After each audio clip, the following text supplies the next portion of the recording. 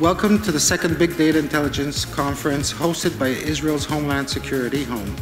This Big Data Intelligence Conference that started as a local professional conference has become an international center for the advancement of knowledge in the field of big data. As your host, we hope that you will enjoy our hospitality and find new professional friends in the seats next to you. We believe that without cyberspace, the capability to do intelligence and to do defense will be very limited. We have to leverage uh, a whole lot more technology within the city and less in humans, and, and I think that is really a very important piece.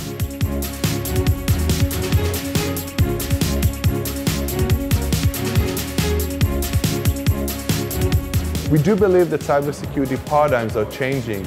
If cyber information security was focusing much about access control and configuration of uh, permissions and uh, access and authorizations. We know that uh, the semantic technology can be a useful technology to manage, to understand meaning, to, high, to make a high precision in the text analytics system.